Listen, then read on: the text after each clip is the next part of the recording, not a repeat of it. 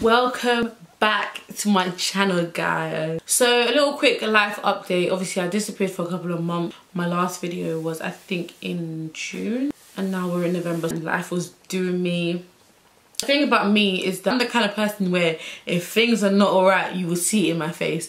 I can't fake it like I really can't fake it so now I'm actually much happier. I'm calm now it like I'm back on YouTube. You guys will be seeing much more videos. Today's video is basically going to be solving dilemmas.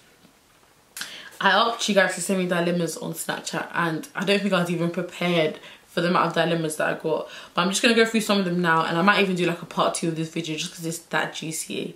But this is my personal opinion I'd love to hear you guys opinion as well in the comments. If you feel like what I'm saying is wrong and you want to let me know how you guys would have dealt with the situation, please, please, please comment down below.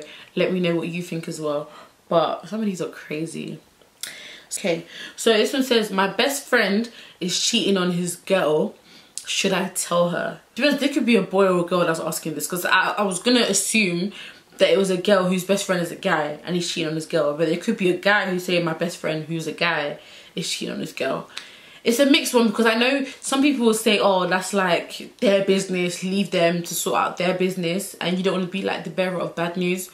But at the same time, you you would be fake to know that kind of information and not say anything. You kind of have to, you know, regardless, whether boy or girl, you have to always pull up on your friends. Like, you have to bad up your friends sometimes when they do something wrong. Because if you know and you don't say nothing, then you're now like an accomplice you now know. I know personally of a lot of situations where shit's happened and their friends knew about it and I'm looking at the friend sideways, I'm thinking, so all them times you're saying hi to me and you're there like, you know, just just being friendly with me, you knew what your friend was doing. Like you knew what your friend was doing. It makes me hate even the friend even more. Because it's like I've got hate for the guy, yes fine, but then I hate you even more because you were smiling up in my face knowing what your friend was doing so yes i do think you should tell her. Because at the end of the day if you have to go out of your way to do that rubbish then you need to be checked. You definitely need to be checked. So tell her and then let them sort out. That's my personal opinion. Another one says what advice would you give someone that has been in a relationship for six years and has just found out after nine months of breaking up that he's in a relationship So you've been in a relationship for six years, then you've been not going out for nine months, which is like nearly a year, and now he's in a relationship. My first question would be, how long is your relationship? How long have they have? How long has your ex now been in a relationship? When did they start talking to this person? How long have they been in a relationship for? Is this person someone that was around when we were talking? Like when you and the guy was talking? Was it, do you know what I mean? Because there's some girls, yeah, who will come in the form of I'm his friend, I'm his best friend, I'm his childhood friend. Even cousins sometimes they come with that lies, yeah. And they're just like hanging around waiting for you and whoever it is to break up. Like they're literally just waiting for you and whoever to break up so that they can worm their way in. So that's why those would be my questions. And I would definitely feel some type of way. I think the question says, what advice would you give? Personally, if you guys are no longer together, I would say move on and try and find someone else because like all these questions that I'm even saying I would want to know, all it's doing is it's living rent free in your head. That their situation is now living in your head because you're thinking, who is she? How long has she been around for? You know, like you want to know so much, but then it's like you're not even allowing yourself to be happy and to move on. Like, and that's sad for you, do you know what I mean? So it's like, he's an ex for a reason, you know what I mean? Like, you guys broke up for a reason. Move on let that situation lie. If it's a thing where he was cheating on you with this person because of how the timings are a bit too, you know, close or whatever, then he will get his own karma. Do you know what I mean? Like that time will come back to him. So just let it go. My friend's baby dad tried it on with me when he knows that me and his girl are really close. That's rude. That's disrespectful. Not only do you not respect your girl because you have a baby with her, but you now kind of don't respect our friendship because you're trying to, what, like if I was to give up or whatever it was, or give in to you, if, actually, then I become a bad person now because you, you know, I'm even waffling, but that doesn't, like, I'm just, that's disrespectful, isn't it? That's disrespectful because if you're no longer with your baby mother. There's plenty of girls in the world. Like, don't be now trying to impregnate me so you can have a baby by two friends and then now our kids are cousins. But they're also like brothers and sisters but they're also friends. Don't do that. Don't do that. You in my business. Don't do that. Excuse me. You in my business? Yeah don't do that you need to shut that down. You need to tell that guy he needs to relax. You also need to tell your friend, your baby daddy, he's he's he's out here in it. Like he's he, you need to put him back on his leash because he's moving mad. That he's moving very mad. I've been with my partner for over five years and we have a baby together, but I don't love him anymore. What do I do? That's sad. That is actually sad because you've been with him for five years, obviously that's a long time. And now you have a baby together, so you've obviously brought life into the world. But my advice for that would be like, you can't ever force feelings. As sad as it is, you can't force feelings. If you're not feeling it, you're not feeling it.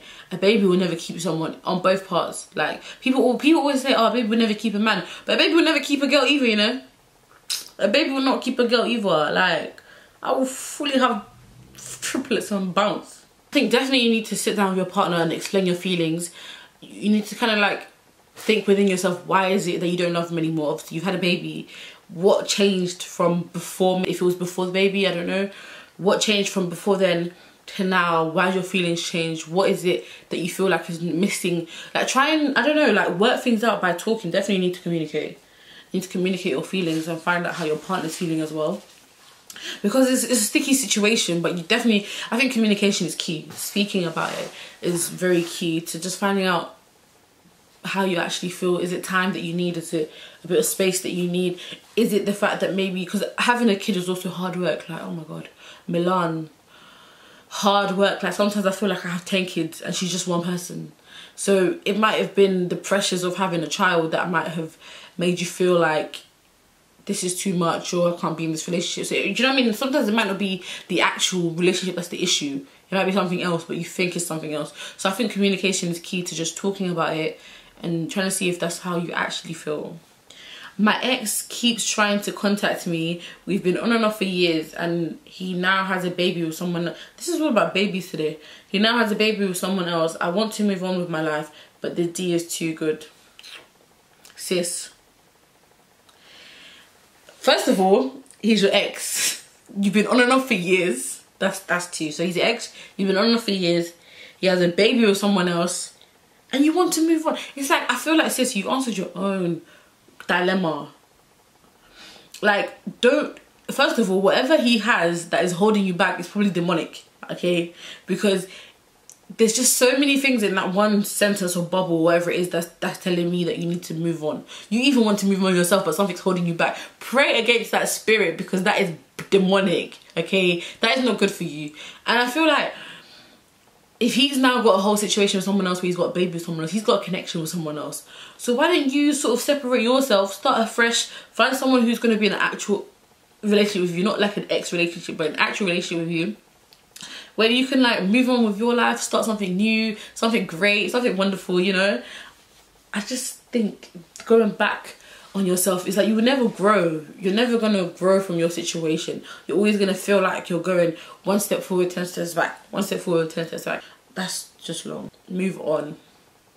I was in an abusive relationship for years and now I found a really great guy who loves me so much. But I find it hard to allow him in and it's creating space between us.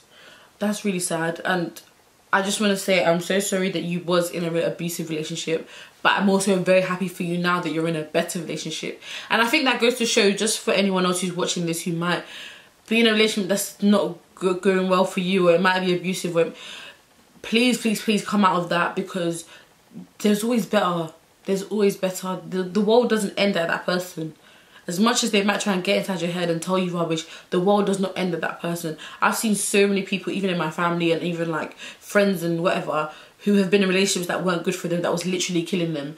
And now they're in like, they're either by themselves or in different relationships and they're just flourishing. Like they look so beautiful like they're really flourishing and I'm sometimes bad relationships can actually kill you without physically killing you it's killing you on the inside and that's worse But going back to this, the fact that you're now in a different relationship and you find it hard to allow the person in, I can say like it's totally understandable in your situation. My best advice for you would be to allow yourself time to heal because that, that might be what it is. You're not allowing someone else in because you feel kind of scared. You feel scared to get back in a situation where you, you just don't want it to go wrong. I think maybe you, you're seeing that this is so good and I don't want to lose this, but I don't want to fully open myself into getting hurt again. And that's totally understandable. Speak with your partner, communicate with them, let them know how you're feeling but also pray on it. Like allow yourself time to heal. Understand that it's your journey. Do you know what I mean? You've come out of something very traumatic. You're not straight away just gonna be, you know, out there again. You're not straight away just gonna open yourself up again. So just allow yourself time to heal and be very open with your partner. I think that's the main thing. Open with your partner, speaking with them, letting them know how you feel.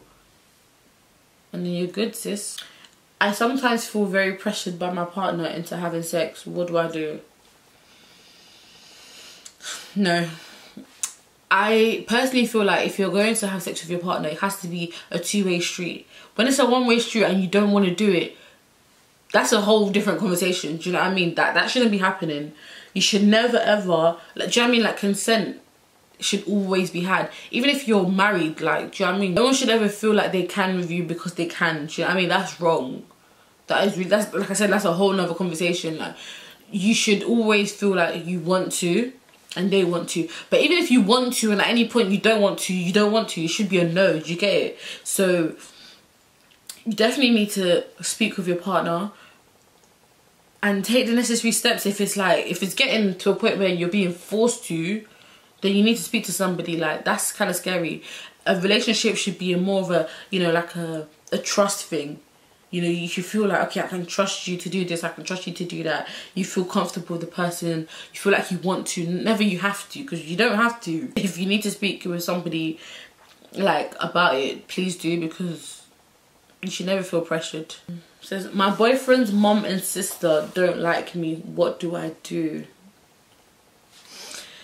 I've actually been in that situation myself where it's like hella pressure bruv. The mum is doing face the sister's also do face. Ah! Already here, I feel like girls, whenever we meet a guy or we're getting to know a guy, you really want his mum to like you because that's his mum. Do you get it? Now, if his sister or if she's older as well and she's now coming to, it's like, ah, you have to walk in the house and hello auntie to the mum and then hello auntie to the sister. Headache for what? Especially if the guy's not even treating you right. Some mums, if they don't like you, they don't like you.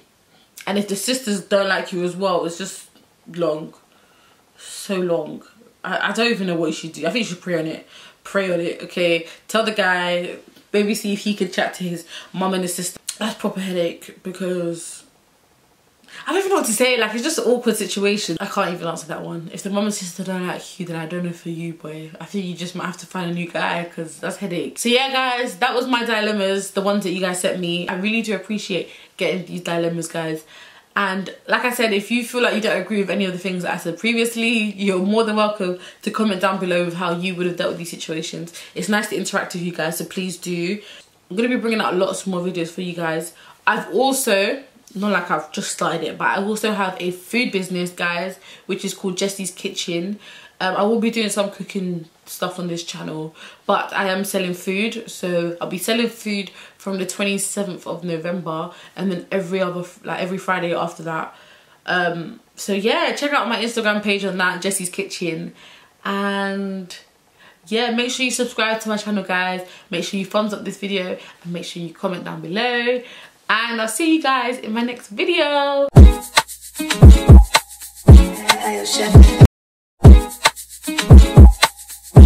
Ohio Show.